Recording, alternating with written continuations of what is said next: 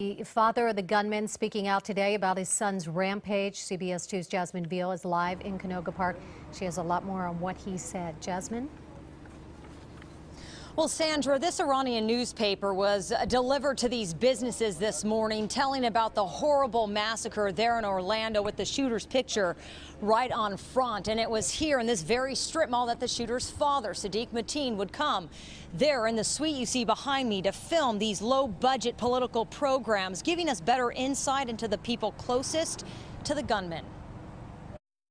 Yesterday I was in shock my whole family was in shock. The father of the Orlando gunman sat down with reporters following the worst mass shooting in U.S. history.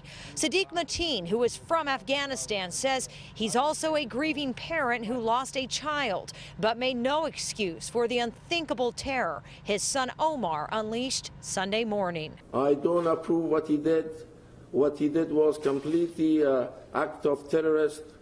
He had in the house United States is my house. Seddique says he believes the shooting didn't have anything to do with religion, but the anger his son had toward gays. Law enforcement says Omar Mateen called 911 to pledge allegiance to the Islamic State during the attack. This, but this the Hamba team. Mateen is no stranger to being in front of the camera. He would often travel to the small Canoga Park TV studio from Florida to create his own political talk show criticizing Pakistan and the U.S. What does he care about the Afghan government? This country give him a home, give him job, give him to survive. I'm a U.S. citizen. I worry more, more, about the country here. Today, an Iranian newspaper with his son's picture on it sat on a magazine stand next to that studio.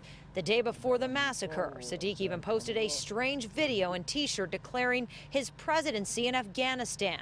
Yet, in this interview, he pointed out his love for the U.S. I am against, I've been throughout my life against terrorism, against injustice, against what anyone can do against the United States.